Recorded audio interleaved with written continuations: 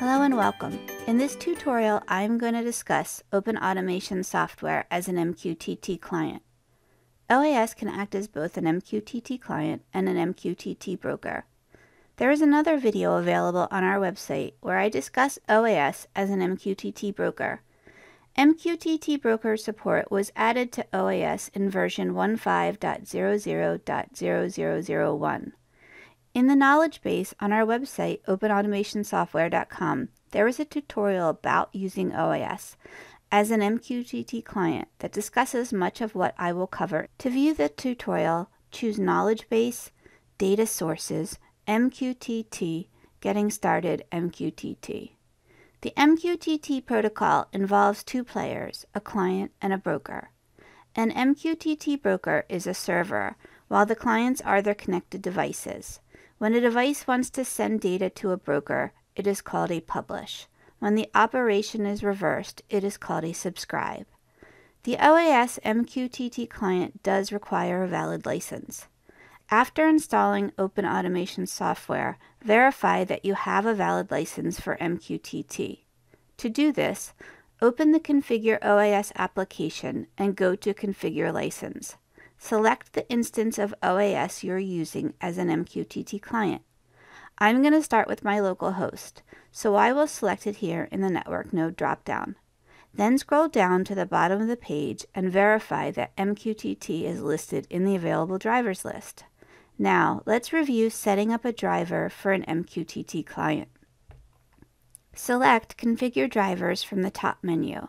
Again, choose the local or remote instance of OAS that you want to create a driver for. In the driver interface name box, enter a meaningful driver interface name that you will use to refer to this physical connection when defining tags with an MQTT source. I am going to connect to the eclipse.org MQTT broker, so I will call this my Eclipse. Select MQTT in the driver drop-down box. Enter the IP address for the broker. In this case, it is mqtt.eclipse.org. The default port is 1883. I will leave it there.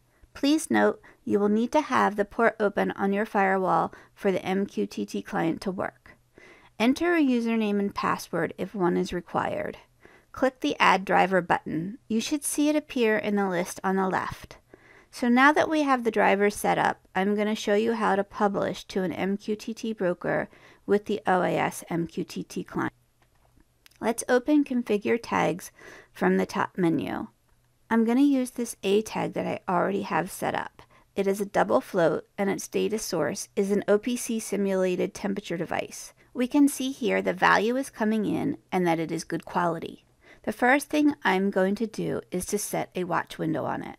I will right click on the tag in the Tag Explorer and say Add to Watch. The watch window appears now and we can see the A tag here. The window tells us its network node, the tag name, and we can see the value changing here. There is a knowledge base article and a video tutorial on our website about the watch window feature of OAS if you'd like to learn more about it. To publish using the OAS MQTT client, you must go to the Target tab for the tag and use the data route feature of OAS. Please note, to use this feature, a data route license is required. First, check Enable Write to Target. In the Target Type dropdown, select MQTT. In the Driver Interface box, I will choose the driver we just created. In the topic box, enter the topic you want to publish the tag as to the broker. I will call this OAS underscore A underscore tag. Next, choose the quality of service you desire. At most once, the client simply publishes the message and there is no acknowledgement by the broker. At least once. This method guarantees the message will be transferred successfully to the broker, but it may be received more than once exactly once. This is the highest quality of service and the slowest in which both sender and receiver are sure that the message was sent exactly once. I will select at most once.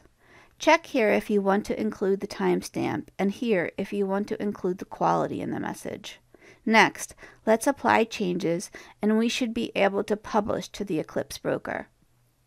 Now let's set up a tag to subscribe to the Eclipse Broker using the OAS MQTT client. I will create a new tag and call it B. I will set its data type to double float and its data source to MQTT. The driver interface will be the new driver we just created for the Eclipse Broker.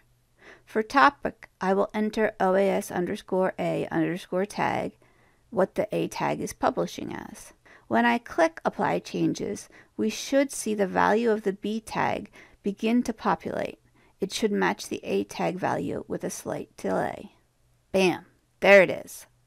If you want to configure multiple tags to have an MQTT data source with the MQTT client or to publish to an MQTT broker via data route, you can do so with the CSV export and import feature of OAS.